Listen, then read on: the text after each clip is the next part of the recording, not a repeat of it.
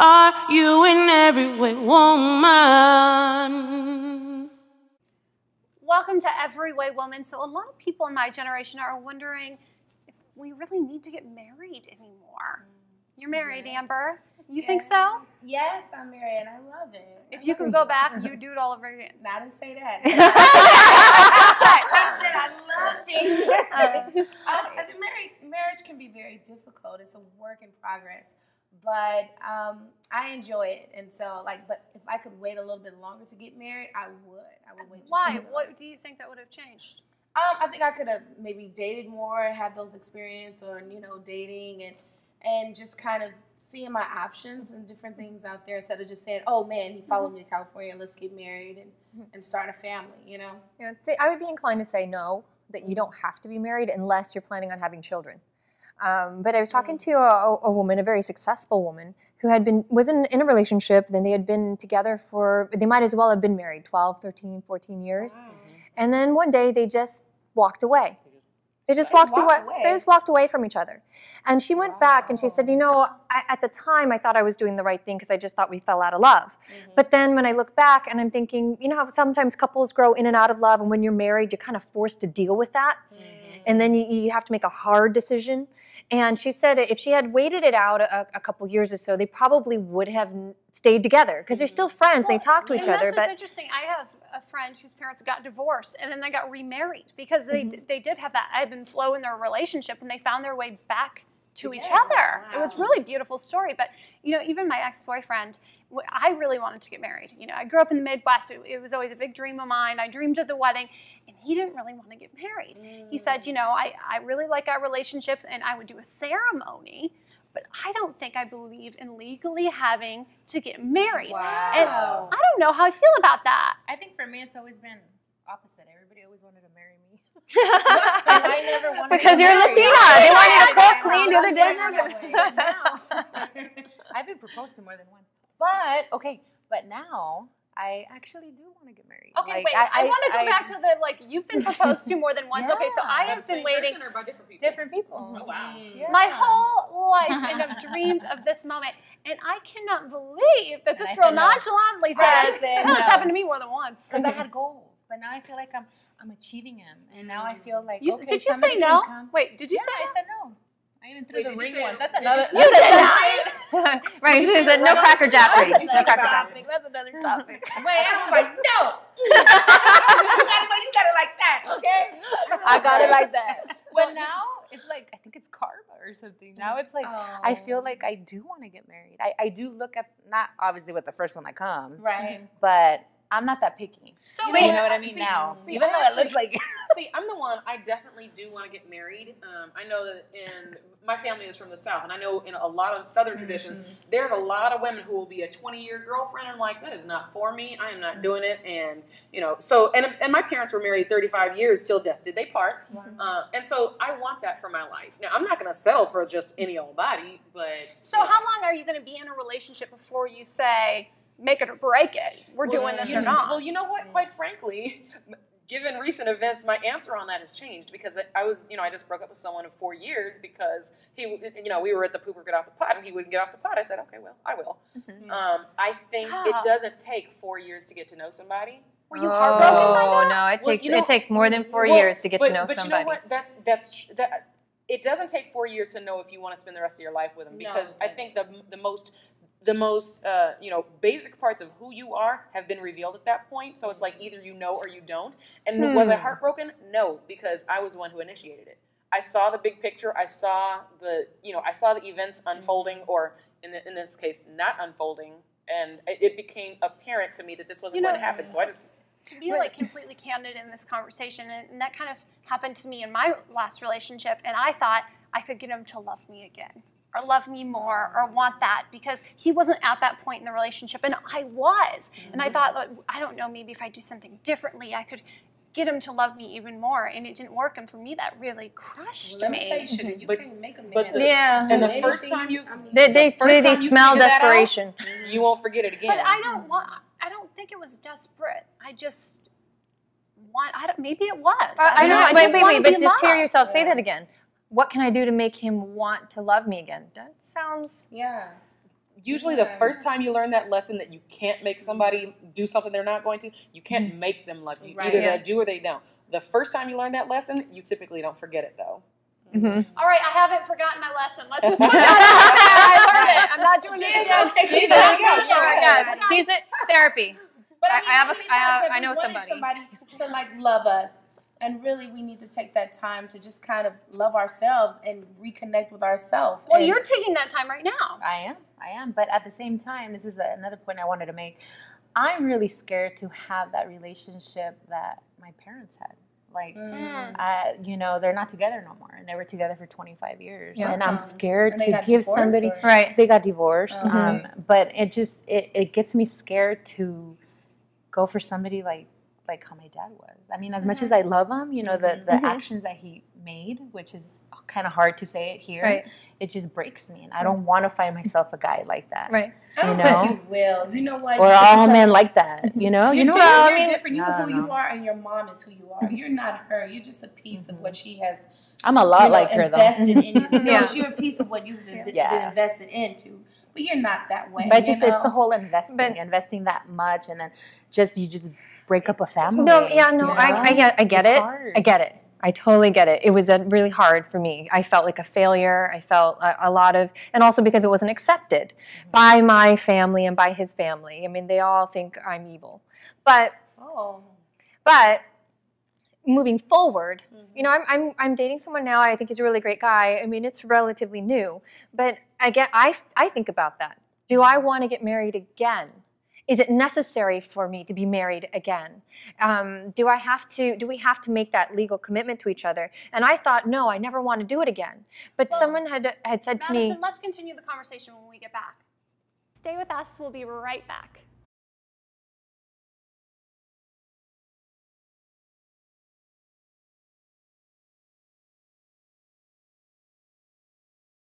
Welcome back. I want to continue the conversation, Madison. You Yes. saying. So I, what I was saying is, is that um, I was telling this to another a, a divorcee, and I had said, no, I never want to get married again, but I'm meeting, dating someone. I think he's really great, and I don't think he wants to either. And she kind of took a step back and said, why? Why would you not expect that he have some kind of legal responsibility for you to make sure that you're taken care of when you get older, when you're not, you know, when your time has come? And why wouldn't he expect that from you? So it gave me a different perspective on that as well. You know, there is that legal thing. Who's Well- taking care of who? In you know, in 2008, when the economy crashed, a lot of families crashed as well because they were both legally responsible for each other and on each other's credits. When one lost their job and went bankrupt, it hurt the entire family. Yes. I mean, is that a reason to possibly avoid legally getting married? I think some people use that as a reason, um, but ultimately, if you're a team, you're a team. Mhm. And That's it- the truth. Yeah. My credit got messed up my credit was messed up before I got here. right, yeah. she was saved through marriage. Probably, yes. well, I, I wanted to talk about in kind of moving onto a new leaf, being a stay-at-home mom. And I know you were a stay-at-home mom for some years, weren't you? Yes, for a long time. For a long time. How long? Probably still a stay at home. Um, for about eight years. Is that what you wanted to do when you became a mother? No. I think I wanted the whole career. I wanted to be in DC listening to jazz music, drinking wine, laughing. Ha ha ha. And I didn't get that. I got married and I, life went bloop. I had my daughter and um, fell in love with her, you know, and, and, and the whole family thing. But I still strive for my career. But now it's more like, okay, it was so important. I, this is so crazy. I took her to school. I was working for a fashion designer, and I took her to school. And it, you know, when you work do fashion, it's overnight, it's long hours. And I took her to school. I picked her up, and she could sit up. And they were like, "Oh, Miss Love, she has one tooth." And I was like, "Wah!" and I took her out of school, quit the job and everything. I was like, "Come, get over." Started a little apple, she was all happy and stuff. And then I Cheryl, do you think when you become a mom that you would sideline your career? Negative. Sure, I was anti-kids. What did, what did you do? What did you come to? She was anti-kids. right now. I sure love the babies, and I know that I'm gonna love mine. Um, but I mean, I grew up in a household where I had a working mother, and quite frankly, I I spent a lot of time on my education. I spent a lot of time, you know, in the workplace trying to build myself a career. I'm not willing to have done all of that in vain. You know, I have goals that I want to accomplish. I don't think that would ever be in vain because it's made you the Right. woman you Yeah. You know what? That's true. You know- but then, how do I demonstrate to my little girls? You know, my Well- little girls. You might that- be Okay, right. so I- and how do I demonstrate to my son? You know, the kind of woman that he should be striving to try to, uh, you know, try to meet. You know, someone who is driven, someone Okay, who, is, who has yes. goals, and someone However, who, I want you to keep you know, in mind, making Sarah, in the world. that one of the things that you're doing when you have children is you are raising a person, Yes, right? Yes. And um, who are you putting in charge of raising your person, your people, if you aren't there? Well, you know what? That's something I'm going to have to face. I'm you know, Absolutely. I'm- I'm- that's a sacrifice So, I'm willing to it- make. but is it But I- because see you- for me, I, I I mean I yes I'm a working mom, but it is not my ideal. Right. If I I I firmly believe that children need their mothers and their fathers, but they need their mothers primarily, right? Nature designed that way until about five or 6 mm-hmm. Not saying that you can't ever go back to having a career, but there is a certain point where their informative years are there. You know, and I felt I have guilt. I, I swear to, I have guilt about putting my kids into care of someone else's care because they are learning somebody else's values. Mm-hmm. I'm They are so learning somebody grateful. else's my habits. Mother, And you my know what? mom They are stayed learning- at home, and- and I'm really grateful she did because we have such an unbreakable bond. But even then, I thought, well, I want a career, and maybe I'll let my mom kind of look after my kids. And the older I get, I think, like like you're saying, Madison, I want to be the one who Yeah. helps guide that little Right. person who sees, you know, the And world would say, a I, new I, you know, but something. I enjoy going to the PTA mm-hmm. meetings. I enjoy knowing that I'm bringing cupcakes and I'm helping the class. And even though, in, in, to my mom, she was like, "Why are you doing that?" It's, mm-hmm. I I would give it up any day, and I still do it now. I still mm-hmm. every job that I do find that I do try to work at, Yeah. I still try to make sure that I have time for my children. I had a working mom. So she was, uh, you know, working. Both parents were working. But for me, like, I just don't want to change diapers. You know what? And, but Oh, you you're gonna pay somebody you for know, that. but actually, in, in another vein, saying. in another vein, you know, I don't mind changing diapers, but I'm sorry, I need intellectual stimulation and Well- trying and just trying to transmit hang on, hang on a minute. I'm, I'm gonna go crazy. You Okay, don't know. I don't know. Well, you can read a book. At the end of the day, You can read a book. adult conversation. you know, You know, but you have you have a partner. You have a partner, right? For you Yeah. doesn't necessarily What work I'm saying is you don't- assign yours to No, me. no, I'm not saying that. But you know, if your career comes first, there's nothing wrong with choosing to have a career over having a family. There's that's absolutely nothing too. wrong with that. We'll be right back with more Every Way Woman. Too pink? Too purple? Too much coral? How do you find that perfect red lipstick just for you? We'll find out next when we come back.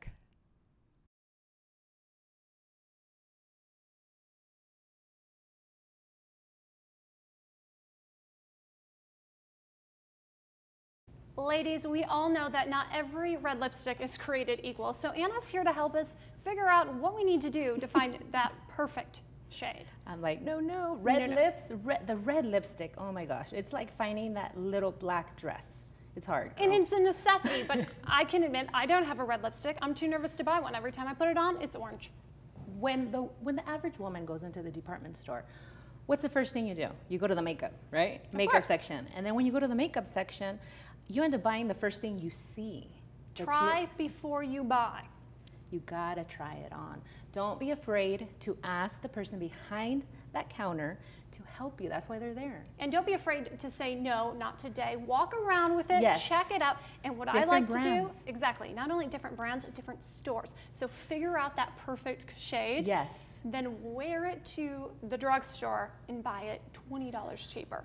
I am, secret of mine. I am happy you mentioned that. And that's one of the reasons I brought the brand that I actually brought. Okay. Because a lot of people can't spend those, what, $16 on a lipstick. No, I so mean, what do let's you be have? real. You Yeah. know, the average person, you want to find a good deal. So we have NYX, okay.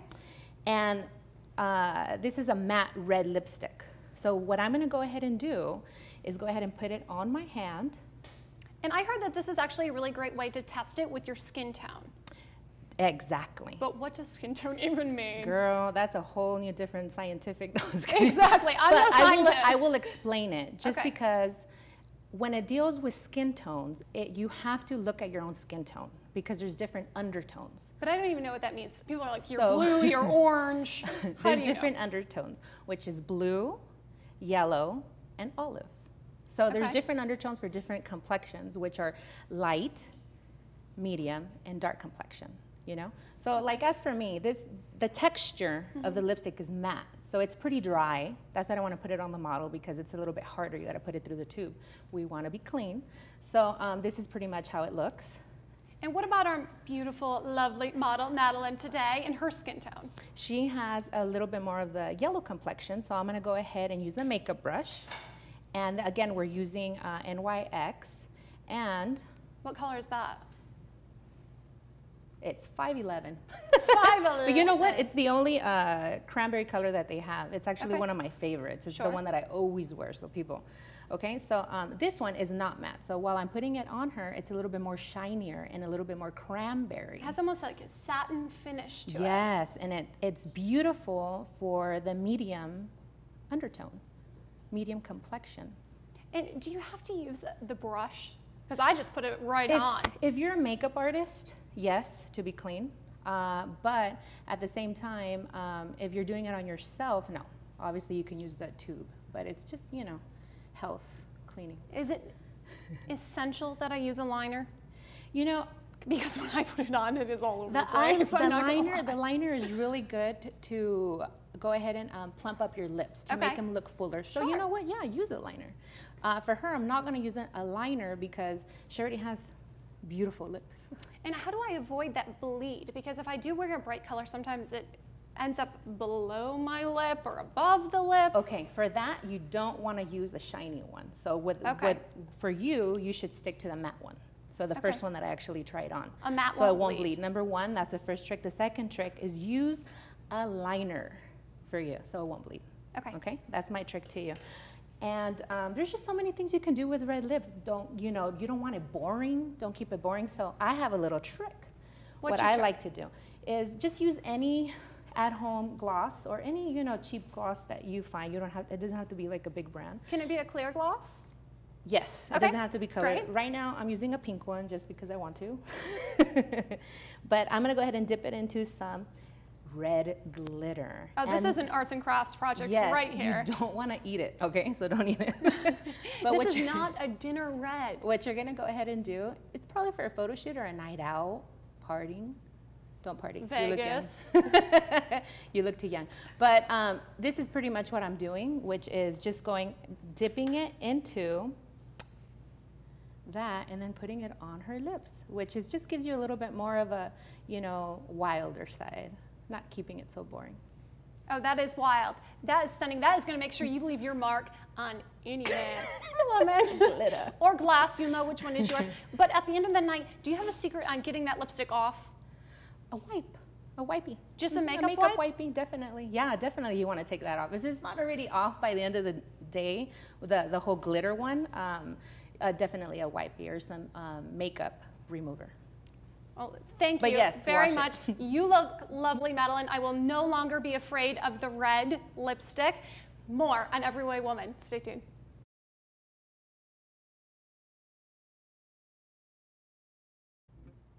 Coming up next, more Every Way Woman.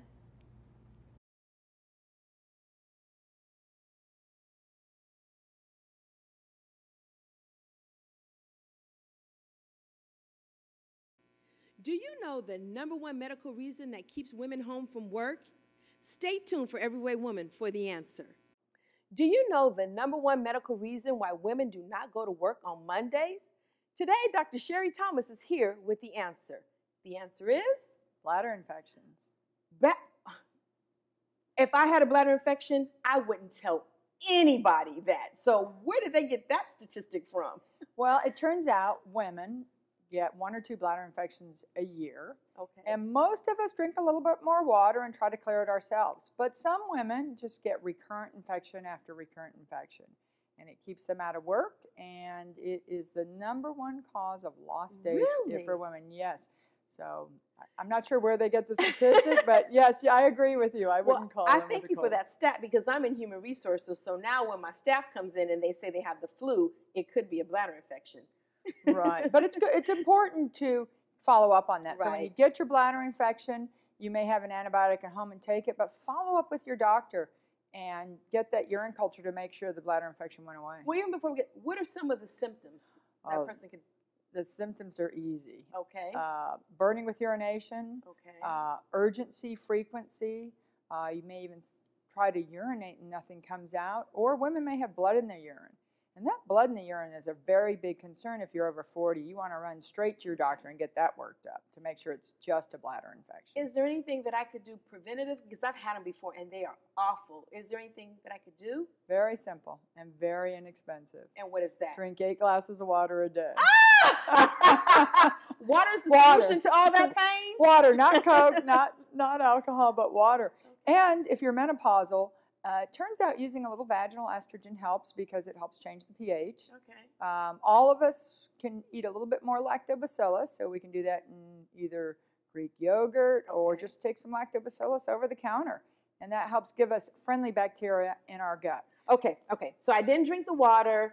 I have all the symptoms. I'm full blown now with and I have my antibiotics. Is there anything that I should be pay, pay, excuse me, paying attention to while I have the bladder infection?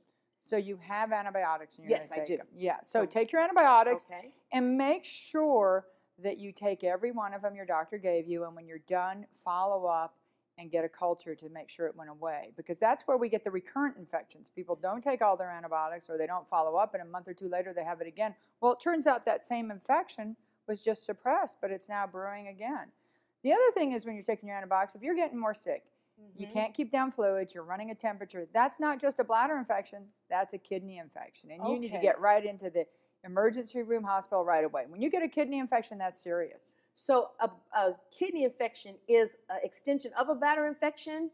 You you can't. Is that how that works? yes so many times when we get urgency frequency and we blow it off oh i'm tough i'm a woman i can survive that and then it brews for a while we can actually get a kidney infection Okay. so the kidney infection you want to get on right away because that can be serious remember before antibiotics that's how people died and that's how you lost a kidney because we couldn't treat it So let's say I'm in the I have a bladder infection. This happened to me before, and the antibiotics are not working. Do I go back to my doctor and ask for different antibiotics? Can I mix antibiotics? yes How so do I make it go away? You don't, well, you don't want to be your own pharmacist and start mixing antibiotics.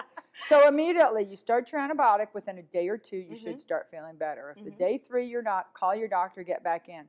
A lot of times, as I am actually a urogynecologist, so I take care of a lot of women with recurrent bladder infections.